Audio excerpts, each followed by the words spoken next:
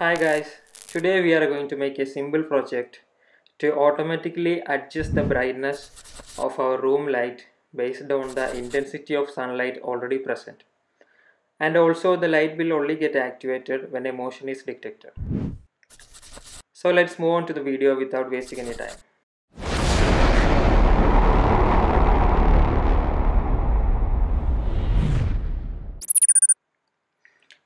These are the things which we needed for this project. An Arduino Nano TIP120 transistor, an LDR sensor, a PIR sensor and a 1K and 10K resistor. Now first connect the ground of the Arduino to the ground of the PIR.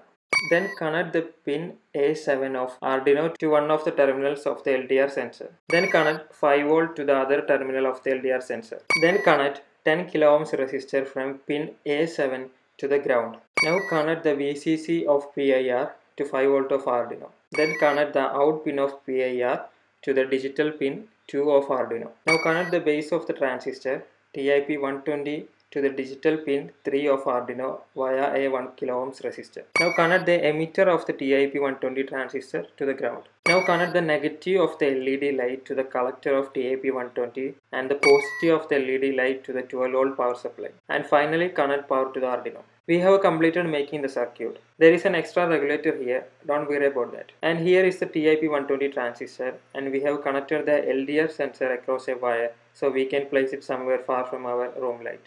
For testing, I have connected a 12 volt LED light and here is the motion sensor. The light will only get on when a motion is detected. Let's turn on the power and check the circuit.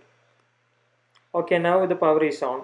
As you can see, if I move the LDR to the dark side, the light will get brighter and if I pointed it towards the bright side then the light will get dimmer.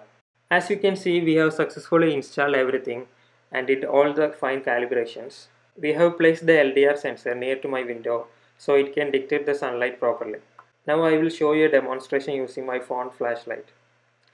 As you can see here when I am pointing the flashlight on the LDR sensor the room light is getting darker and when I am pointing it away from the sensor, the room light is getting brighter. So in morning when the sun is shining, the room light will get dimmer and towards the night, the light will get adjusted automatically.